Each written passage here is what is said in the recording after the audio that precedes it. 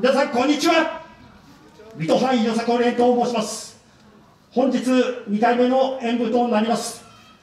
えーまだまだ、えー世の中コロナ禍ということで、えー非常に厳しい規制の中で、えお祭りイベントを開催されていますけれども、え少しずつ、え日常を取り戻して各地でこういうイベント、え開催され始めてきております、え今日は、え皆さんに元気を持ち帰ってもらえるように精一杯演舞いたします。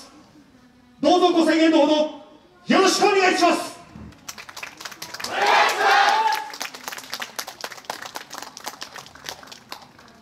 生きる明日をつかみ取れ。いざ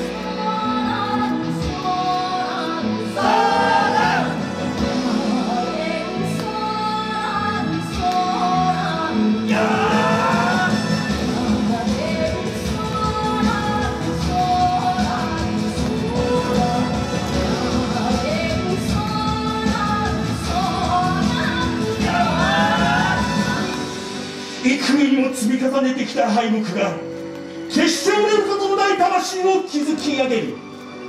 生きる明日をつかみ取れ己が力でその道を切り開け。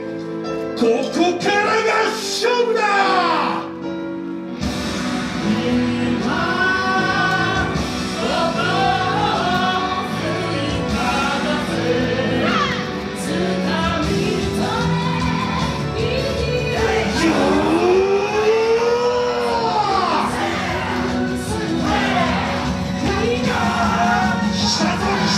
たぞ